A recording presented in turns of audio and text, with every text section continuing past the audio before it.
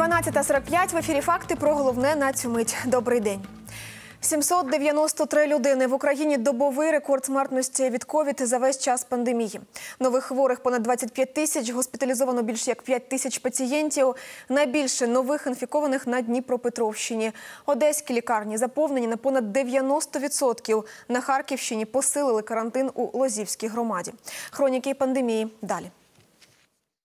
На Херсонщині найгірша статистика ковід за минулу добу. Тут померло 144 пацієнти. На Дніпропетровщині не подолали ковід 89 пацієнтів. В області найбільша кількість нових інфікувань – 2616, трохи менше на Одещині – 2177.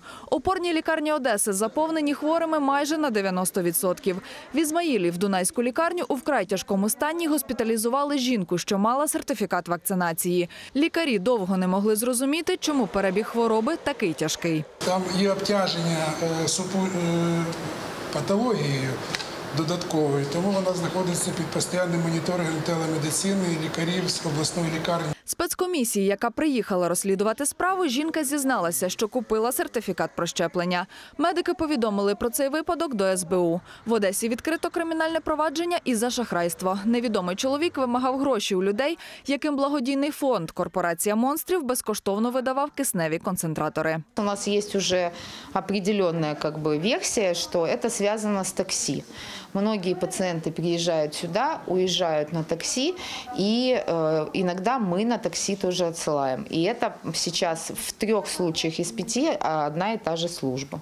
У Києві за останню добу коронавірус забрав життя 41 людини. У столиці виявили 1426 нових хворих. На Харківщині посилили карантин у Лозівській громаді. З понеділка усюди потрібно показувати ковід-сертифікат, ПЛР-тест чи довідки про одужання або протипоказання. В тому числі і в транспорті. В школі медики посилять контроль за станом здоров'я дітей. Таке рішення ухвалили після рекомендацій РНБО, адже за тиждень в громаді від ковід померло 23 людини. На Львівщині 1465 нових інфікованих за добу. У лікарні швидкої допомоги напередодні з 50 ліжок в реанімації вільне було лише одне. Тому шпиталь екстрено збільшує свої потужності з прийому хворих. понеділка реанімація ЛШМД буде працювати на 100 ліжок ковідного блоку інтенсивної терапії. Це е, необхідність додаткових штучних апаратів вентиляції легень. На Львівщині не використали майже 40 тисяч доз вакцини AstraZeneca. Її термін придатності закінчився наприкінці жовтня, і тепер її треба утилізувати. Найчастіше на Львівщині люди обирають Pfizer, на другому місці Коронавак, на третьому AstraZeneca.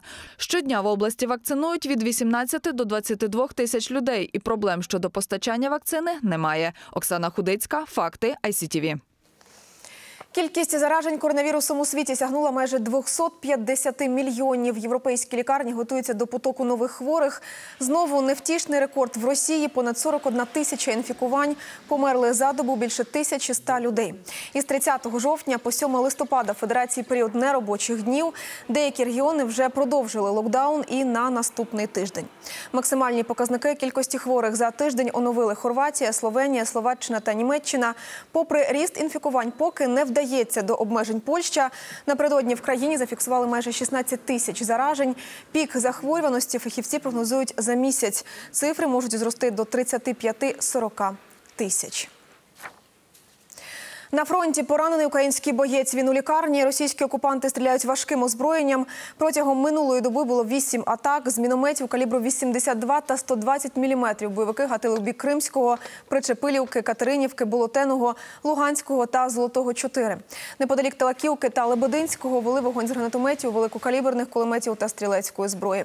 Спостерігачі ОБСЄ за добу зафіксували три сотні одиниць бронетанкового і артилерійського озброєння Росії, розміщених поза межами районів відведення. Крім того, російські окупанти не пропускають патрулі місії на окуповані території. Спецрепортаж із передової далі. За такої погоди єдиний спосіб дістатися на передову це на військовому зілі. Комфортно все, диванчик є, відкритий верх, єдине, що трясе трохи. Дощ, що поливав Луганщину декілька днів поспіль, перетворив фронтові дороги на в'язке місиво. У густий туман, що вкутав передову, вглядаються піхотинець Олег і кіт Василь. Мы используем тепловизор, ночной ночник. Через погану видимість доводиться періодично прострілювати посадку навпроти, аби, бува, непроханий гість не підліз. Это короткая очередь, выш- выстрелить, чтобы напугать его и не дать дальше ему пройти. Так видно побиті бревна. Микола показує пощерблену бійницю, біля якої впала керована ракета. Не долетіла. На щастя, тут людей не було. Із дорогої зброї, що призначена для знищення танків, окупанти б'ють по людях. Напевне, у них дуже багато цих ракет, і вони їх просто можуть витрачати на методичне знищення наших бійниць. На витівки такі його підлеглі не мовчать, певнить командир, бо чужинці тоді вже зовсім нахабніють. Тільки вони починають показувати зуби, ми починаємо давати адекватну відповідь. В течение п'яти хвилин дали відповідь, і противник запросив тишину. Дашка, так бійці лагідно кличуть кулемет Дешака, у тому ділі дуже помічна. Оце заспокійливе, да? Звісно, діла. Таблетки. Да, противник. Кіт Василь, з яким під час зйомок встигли заприятелювати, проводжає на вихід. Муркотун хороший. У тому ж кузові ґрунтовкою, що з'єднує військових із цивілізацією, виїжджаємо з позиції. Я ставлю п'ять зірок цьому таксі. Тетяна Наконечна, Євген Тур та Олег Цимбалюк. Факти ICTV. Президент Володимир Зеленський зустрівся із генеральною секретаркою Ради Європи Марією Пейчинович-Бурич. Глава держави вважає, ця європейська установа має відіграти ще більшу роль в захисті прав людини у тимчасово окупованому Криму та на Донбасі. Марія Пейчинович-Бурич відвідала адміністративну межу з окупованим півостровом. Україна очікує на першу її доповідь щодо ситуації із дотриманням прав людини в Криму. Володимир Зеленський окремо закликав генсека Ради Європи сприяти звільненню українців, яких Росія незаконно утримує. У ній князь Володимир хрестив киян. Легендарна річка Почайна. Нині в столиці ви її не знайдете. Закута в бетон 70 років тому закинута і захаращена. По суті, зараз це дощовий колектор. Але з'явився шанс на повернення легенди. Річище Почайне почали відновлювати. Тут обіцяють парк, велодоріжки і чудову прогулянкову зону. Репортаж Олени Астахової. Рідкісна для України подія. У столиці повертають з небуття прадавню річку Почайну, наш Йордан, де за переказами князь Володимир хрестив киян. В казках це річка, на якій от ця Баба Яга Змій Горинич, Добриня Нікітіч. І це головне це річка, яка протікала між берегами життя та смерті. Ці ці дива, які є, які ми пам'ятаємо з староруських казок, це вони були на Почайні. 70 років тому легендарну почайну закували в бетон і в труби, так само, як і іншу річку Либідь. Вони стали, по суті, дощовими колекторами. Якщо Либідь на картах Києва хоч позначали, то почайна із них зникла. Щоб відновити русло, співставили давні і сучасні карти. Ми м, наклали е, карти Ушакова на Google Maps и на э, немецкую аэрофотосъемку и вычислили вот эти 1076 метров исторического русла. Херсонес оккупирован, да, там где-то в Москве какой-то памятник Владимиру ставят, да, и мы так за это переживаем, обостренно это все чувствуем. А вот у нас наша собственная история закатывается в асфальт, в коллектор, и ну прям вот стыдно было бы. Небайдужі активісти доклали величезних зусиль, аби перейменувати станцію метро Петрівку на Почайну. Місто розробило і затвердило проект, аби замість захаращеної промзони був культурний громадський простір з ушатними алеями, скульптурами, зеленню. І почали реконструкцію на першій ділянці 685 метрів. Русло розширяють з 2 до 4 метрів, і для цього зняли бетонні блоки. Всю речку загнали вот в такие бетонные оковы, э, и в этих бетонных оковах она протекала порядка 70 лет. Нині комунальне підприємство Плесо укріплює русло габіонами. Це сітка з камінням. Вода вільно тече, а береги не руйнуються.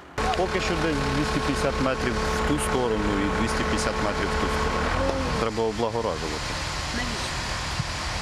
Красоту наводити. Благоустрій і само собою ревіталізація, бо зараз е, там трошки схоже на промзону, а буде ну майже рекреаційна зона. Поруч буде ще і парк почайна. На розчищення русла столичний бюджет дав 37,7 мільйона гривень і 6 мільйонів гривень на реконструкцію ось цього шлюзу. Це шлюз 50-х років, який обмежував рівень води, коли вона піднімалася у річці. Для того, щоб не було підтоплення залізниці. На місці ось цього захаращеного озерця буде стояти така пам'ятка зі змієм, одним із казкових київських героїв і водночас втіленням язичницького Велеса. Адже колись священній печені тисячі років. На Почайні взагалі-то було дуже багато древньослов'янських поселень. Най, е, найбільше з них на Почайні існувало з 2 століття до нашої ери, по 6-7 століття ет, е, нашої ери. Поки ж в почайну зухвалі підприємці тишком-нишком зливають якусь гидоту. Вдихнути нове життя у промзону це найкраща світова практика. Колись захаращеним був і морський порт Барселони, куди страшно було зайти ввечері. Всі доки знесли, зробили пляжі, пішохідні алеї та морський музей. Тож нині це візитівка міста. І наша прадавня річка Почайна має шанси відновитись завдяки небайдужим активістам і міській владі, яка, сподіваємось, не передумає. Олена Астахова, Анна Боль, Дмитро Строкач. Факти ICTV. Першому в Україні телецентру 75 листопада 51 року із Хрещатика 26 відбулася перша професійна телетрансляція. Почалася історія українського телебачення. Тут знімали все від новин до вечірньої казки з дідом Панасом. Нині в будівлі на Хрещатику Суспільне радіо. Після 25-річної паузи знову має запрацювати велика телестудія. Як починалося українське ТБ, розповість Даніїл Самсонов. Таких вишуканих зовні телецентрів зараз уже не будують. А в Україні у середині минулого століття звели розташувати перший телерадіокомплекс у самому центрі столиці. Радянське керівництво вирішило не просто так. І от коли хрещатик весь лежав в руїнах, вже в 43-му році, то тут хоч були стіни, тут було на чому будувати. Тодішній керівник України Микита Хрущов особисто вибрав цей центр, керуючись тим, що тут уже хоч була якась інфраструктура. Хрещатик зразка 1951 року мало нагадував той, яким він є зараз. Довжелезної урядової будівлі не було, а тому з вікон телецентру відкривалася панорама на головну вулицю Києва. Це допомогло уперше в радянському союзі показати парад у прямому ефірі. Та телеглядачів тоді було геть небагато. На момент відкриття студії у Києві нараховували всього 662 телеприймачі, а отримували сигнал від цієї телевишки, котра працювала у межах лише 70 кілометрів. Ця бетонна опора майже не привертає уваги, і мало хто з сучасних киян здогадається, навіщо вона тут. Насправді ж це єдине, що лишилося від першої у Києві телевізійної вежі. Потреба у телевишці у самому центрі відпала у 1973 році, коли у столиці звели нову 380-метрову телевізійну вежу. Вона випереджала стару не тільки за висотою, але й за потужністю. Аби обслуговувати антени і транслятори, уже не доводилося лізти на вишку зовні, бо уся техніка та співробітники знаходилися усередині. Кольорове телебачення в Україні починалося також на Хрещатику 26. Тут знімали усе від найстратегічнішої програми новини до вечірньої казки з дідусем Панасом. Я згадую е, людей, які тоді вчили нас стати на ніжки і і, і з величезною, з величезною вдячністю, тому що е, диктори радіо, які були, ну ви знаєте, радіо це був взірець мовленнєвої культури, е, так би мовити, орфоепії. Вони опікувалися нами. Як телецентр, Хрещатик 26 повноцінно працював до 1995 року. Тоді запустили вже інший великий телекомплекс, що у народі називають олівцем. У центрі залишилося радіомовлення, а на місці колишніх телестудій зараз облаштували освітній хаб для навчання журналістів. Продовженням першого телецентру стала і головна телевізійна вежа України, найвища споруда у державі, вища навіть за Паризьку Ейфелеву на 61 метр. Зараз звідси транслюють понад 50 телеканалів у цифрі. Відмова від аналогового сигналу, який ловили найпростіші побутові антени, зменшила щомісячні кількамільйонні витрати на електрику. А ті передавачі були лампові.